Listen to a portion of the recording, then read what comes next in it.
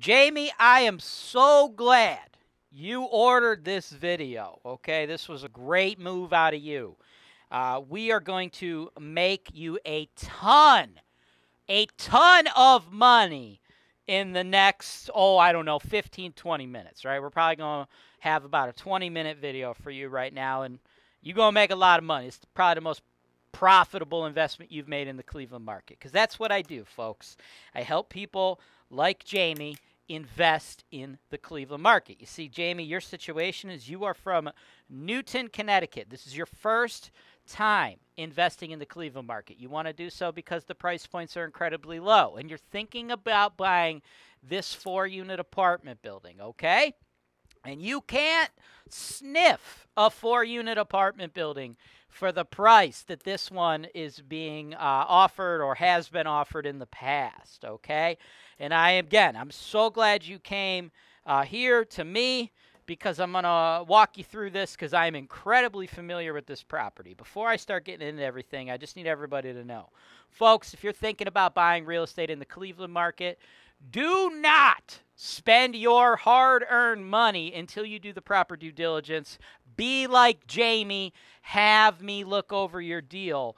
Watch the rest of this show to see how much money I put back into her pocket, okay? A little bit of due diligence is going to go a long way. If you guys want to work with me like you're going to watch me work with Jamie here momentarily, below this video, click the notes, book a call at my team. We'll walk you through the process. And Jamie, uh, I'm going to save you a lot of money because this property is fucking dog shit.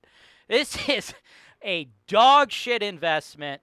And the seller of this dog shit investment has been trying to hawk this piece of refied garbage to unaware out of state investors since the very beginning of COVID. Uh, as a matter of fact, what I'm going to do now is I'm going to show you uh, some footage because you're actually the third person uh, over the last almost three years now uh, from out of state who's reached out to me about this fucking garbage investment. Uh, you're the third person who's reached out to me, so you're the third person uh, who I have rescued, who I have saved from making a very big financial blunder, right? Uh, this is how long uh, this particular person has been trying to hawk this piece of crap uh, to some out of, out of state investor, right? The first time I analyzed it, and I'm going to show you that footage shortly, uh, was the MLS Search and Analysis Show, episode 103. As I talk to you, Jamie, this is episode 1,993, right? So, I don't know, what is that? Like 1,802 episodes ago was the first time uh, I had to save somebody from uh, just throwing their money away on, on this property, all right? So, what I'm going to do now, Jamie, is I'm going to want you to watch the original footage where I'm going to go over at length everything I think you need to know about this investment and why I think for you as a brand new investor from out of town, it would just be a, a huge mistake, right? Because the footage you're going to see, uh, that particular client, and I saved somebody else. Uh, this this client, his name was Angus, right? This is like two, three years ago or whatever. Uh, he he had a very similar story to you, right? Out of town, new to the market, got drawn in by the potential cash on cash return, the low price, right? Being offered to them at 149,000 for a friggin' four unit apartment building, right? Well, uh, partly because I saved some people from making mistakes. It's been three years and they still can't find somebody dumb enough to give them that money. And I am sure as hell going to make sure the person who does give them money is not you, Jamie. Let's take a look at everything I had to say back then. And then what I recommend uh, is you either hop back on another call with my team and talk to us about uh, having me go out and find investments based on your wants, your needs, or your goals, or uh, do what you did here before you spend the money, send me your deal and I'll make sure I set you up. Because it's not about doing all the deals, people. It's about doing the good ones, avoiding the bad ones. It's about matching you with the right property. And for somebody in your situation, Jamie, this ain't it. This is your show. This is the show where I work for you directly, taking your needs. I'm going through the MLS and I'm trying to find the best possible deal for you guys. Put down 25%. That's the perfect way to buy this. That's why real estate investing is the greatest industry in the world. 1825 Lakeview Road, East Cleveland, 44102. Now, this one is actually also currently under contract. And normally, I wouldn't want to spend any time uh, going over this property with you because at the very moment, you can't bid on it. Now, a lot of these deals, I mean, it's very common for rental properties to fall out of contract, just so you guys know. So, like, if we analyze the property for you and then you put in your bid and you get outbid by another investor, don't think that that's necessarily all she wrote. A lot of these deals come back on the market, guys. Investors around the world are, you know, some of them are flaky. I'll be honest with you. I mean, we get we get folks to flake. If you if you're a big time viewer of the investment properties for sale show, where that's the properties we're selling that we email to you guys at 1 p.m. Eastern Standard Time every day. If you haven't been watching that show, you friggin' should. So make sure you smash that subscribe button so we can send that to you every day. Those shows come with video tours but uh, you'll see some of the properties come back on the market because you know folks flake or they get their inspection and they realize oh this is more work than uh, i was thinking you know? When i explain these properties to people i try to give the most transparent look possible but i want everyone to do their due diligence and get the inspectors in there so they could really go through these properties on a fine tooth comb because I, I i notice a lot of viewers sometimes you guys try to think best case scenario in your head, even if that's not what I'm saying. So that's why, you know, we push so heavily on making you guys get those inspection reports because, dude, even if the property is a brand new, beautiful million dollar house that was just built yesterday, inspectors' uh, reports have a way of making that look like a, a rough property, which is good. That's that's what you want. You want the most critical. You want to look at a property through the most critical lens possible. So, like with all that said, right, this particular property, 1825 Lakeview Road. Under contract, it could, you know, fall out of contract. It could be available, but at the moment, it's not necessarily available. But the biggest reason I wanted to talk to you about this property is really to just set proper expectations and get things going. Because you uh, seem uh, to be very interested in this property, and from the looks of things, I understand why. Okay, it's listed by Keller Williams. They've listed at 149,900. It is a big old quad. Quads are my favorite properties. Kind of like this color too. Not that that actually matters, but I do like the dark uh, bluish gray color. I think that looks pretty cool. Uh, doesn't look great on the sides when it's like not matched with the rest of the red brick, but I do think it looks cool. But that's just uh, completely irrelevant. Um, don't think that uh, that adds value. It doesn't. Uh, cruising through the photos, right? We got big old units here. You know, you got the hardwoods. They got the little cheapy. Uh, what they did is you see this in low income rentals quite a bit. Instead of actually um, staining the hardwoods. You just take like uh, dark brown deck paint. Uh, that's how you could tell that the landlord is either got something seriously low income on his hands or he's just a uh, total slumlord. Uh, but you know, the units they're big, they're spacious, uh, they look pretty okay. The kitchens they got some like vinyl wood flooring in there. Fixtures uh, they're decent. Uh, I mean, it's like not the greatest thing in the world, but it's not the worst thing in the world. So building wise, uh, nothing major. Like everything would look uh, pretty promising. Um, but here is is uh, where it gets dicey, and this is why I really want wanted to uh, discuss this one with you, even though it's not available at the very moment, because I just think this is a really good learning experience for you when you're you're going through these properties. Because location, location, man, that's the most important thing. The agent had stated this is the uh, public remarks from the agent. Brick quad within a mile of University Circle. All units, three bed, one bath, all updated in 2018. Highlights include vinyl windows throughout, glass block windows and basement, porches on each unit, newer furnaces and hot water tanks, walkable to University Circle, some off street parking available in drive, no through traffic on the block, close to public transportation and gas station, convenience store. All units were rented at 800 through CMHA, three bedroom rentals in the area getting as much as 1200 a month.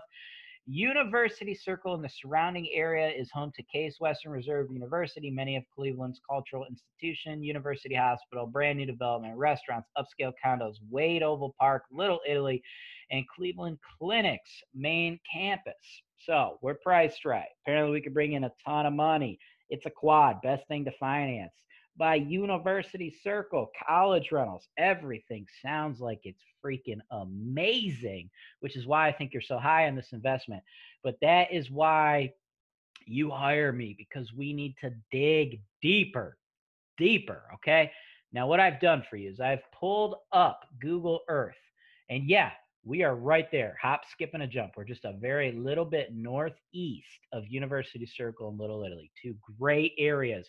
I understand why you'd want to be near them. If you can get properties in there or rent to college students over here, that's freaking great. You're you're barking up the right tree, but we got to dig deeper, brother. Now, there are certain uh, areas of the Cleveland market where you you in, in pretty much every like Midwestern Rust Belt type city. You hear people say like, "Oh, you, you know that particular neighborhood, it can change on a block by block basis." And you know this little area more so uh, than any. Now, East Cleveland itself. If you check out the Ultimate Guide to Grading Cleveland Neighborhoods, I have given East Cleveland a grade of F. It is a crummy neighborhood. It is the hood. It is one of the worst neighborhoods in the Cleveland market, if not the United States of America. Poverty, drug addiction, violence, property theft, murders.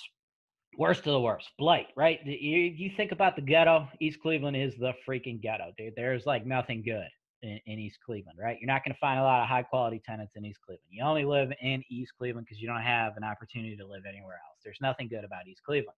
Now, I've even done videos. I've done a video on this. I sold a quad in East Cleveland, though, that had a lot of similarities uh, to this, and I thought it was great for out of state investors. And um, if you go to uh, Mayfield Road, okay, you just go a little bit east from Little Italy, University Circle. We're just going to cruise east on Mayfield Road. Then you kind of go northeast, just north of Coventry Village. There's this nice little triangle of properties. We've got uh, just a nice little neighborhood in here. We've got a ton of natural borders. Right to the west, we got the big old cemetery, which is directly to the east of the quad you're looking at. Right to the north, we got Forest Hill Park Reserve. Okay, so more like parking, uh, park and wildlife and whatnot. And then, of course, to the south, we got Coventry Village, which is nice and trendy. And I sold a nice little quad in there.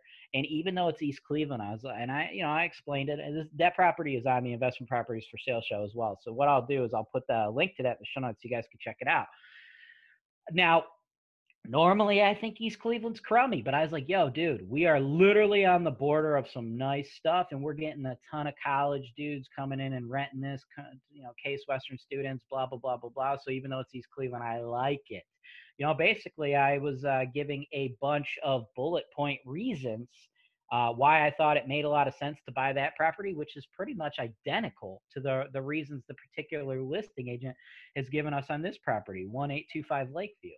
But here is the difference. Let's cruise back over, still on Google Earth here. Let's just cruise over to 18325 Lakeview. Now, natural borders, when you're worry, uh, working with neighborhoods where it's like really hot and then it goes to really sketchy, there's typically like a big natural boundary where you can see the the breaking point, the changing point, right? People use the term other side of the tracks, right? And uh, you know, with that neighborhood I liked, okay, we had that. On the north, we had parks. On the on the west, we had a big, huge natural break. No no people there, right? We got the uh was that a cemetery or was that a park? Uh Lakeview Cemetery, yeah. So we got uh, the big old cemetery and then a park, west, north, and then right to the south, we got a good neighborhood.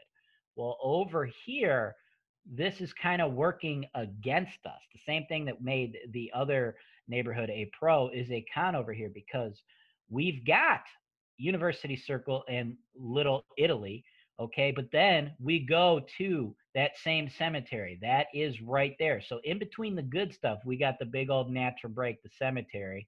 Okay, and then to the north, we got just more crummy ghetto. So if you actually go down to where the street is, if you look on Lakeview, right, there's our quad.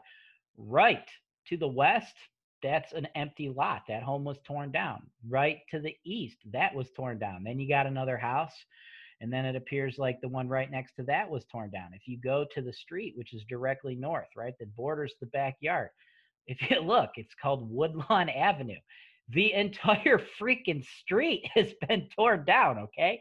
What that means is all the homes in this whole street, like how many plots do we have in a row here? One, two, three, four, five, six, seven, eight, nine, 10, 11, 12, 13, 14, 15, 16 plots in a row on Woodlawn. There were 16 homes there, and they all were so run down and so dilapidated. They all had to be torn down. And then if you look across the street, you got three, then you got a house, then you got another two, then you got five houses, then you got another two.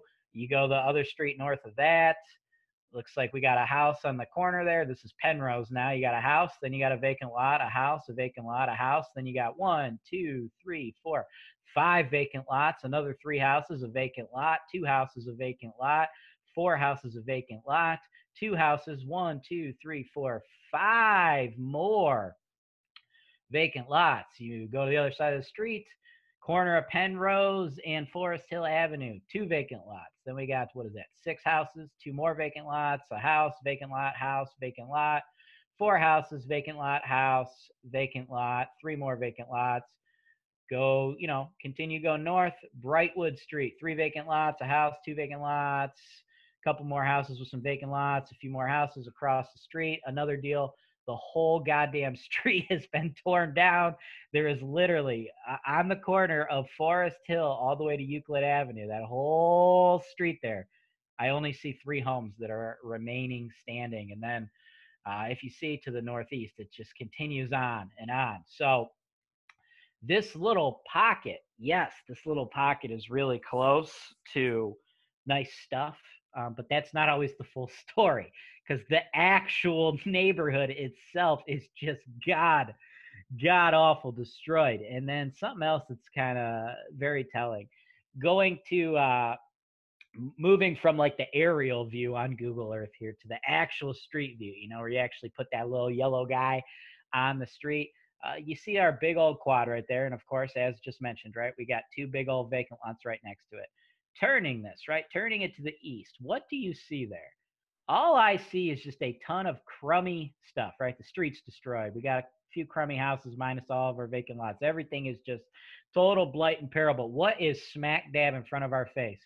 As you look at that, that looks to be a pretty expensive all black tinted windows Lincoln Navigator. You know, that's uh, that's a fairly expensive uh, SUV. Okay, so you got a just on Google Earth, right? Google Earth, random picture here. This is a snapshot of the neighborhood. This is exactly um, a snapshot of what you'd be buying if you purchased this property. All blight. These houses are crummy. They're so bad they're getting torn down. And then boom, we got this big old fancy black SUV. Uh, I'll give you one guess as to the the occupation of the gentleman who's driving that Lincoln Navigator. And if you guess anything other than drug dealer, you're wrong. So that is a, a look into this property, Angus. And I felt that that was really important because you were very, very high on this property.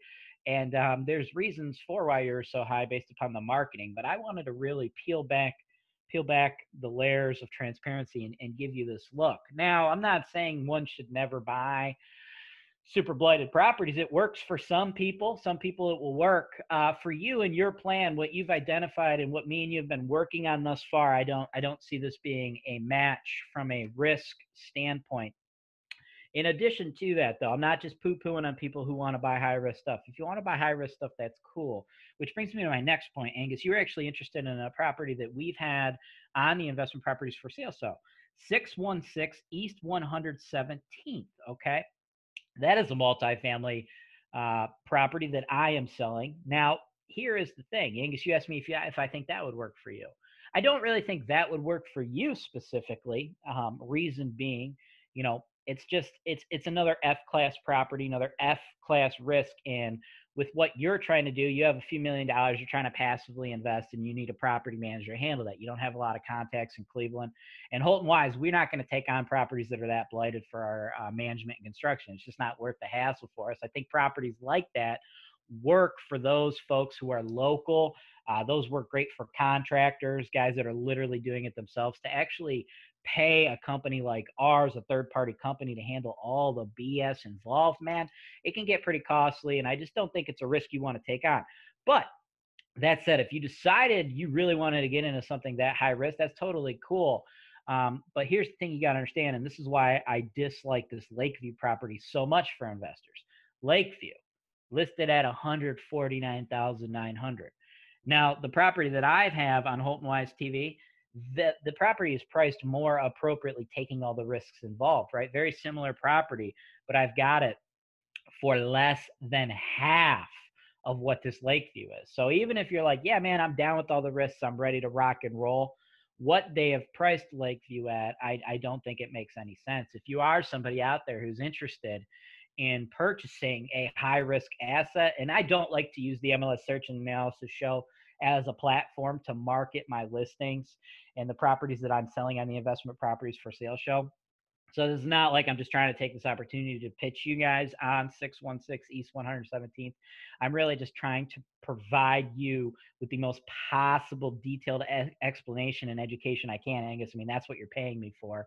So again, if you do want to go high risk, you can if you're going to pick one and Lakeview became available, I would say you sh- you would definitely be better off paying less than half and getting 616 East 117th.